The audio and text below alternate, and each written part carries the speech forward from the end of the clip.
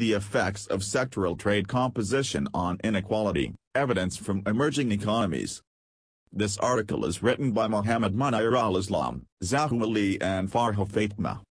Contribution and originality This study contributes to the existing literature by examining the effects of sectoral composition of trade on inequality in the emerging economies focusing on two research questions. Firstly whether export and import of different sectors have a differential effect on inequality in the emerging economies, and secondly, how revealed comparative advantage of various sectors affects inequality.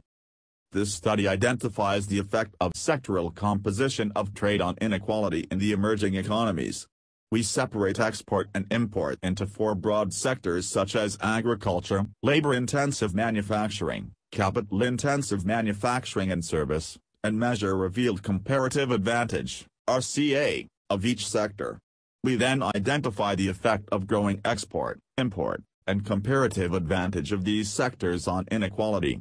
The study applies dynamic panel data model to a panel dataset of 31 emerging economies over 1994 to 2014.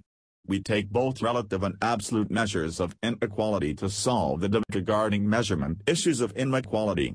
The study results suggest that trade in different sectors have differential effect on inequality measured by Gini and ratio of average income of highest and lowest quintiles, but it significantly increases income differences between the two extreme quintiles of income group.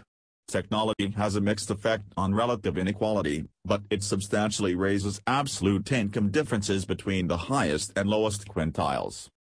Thank you for watching the visualization of Asian Journal of Empirical Research, Volume 7 Issue 8.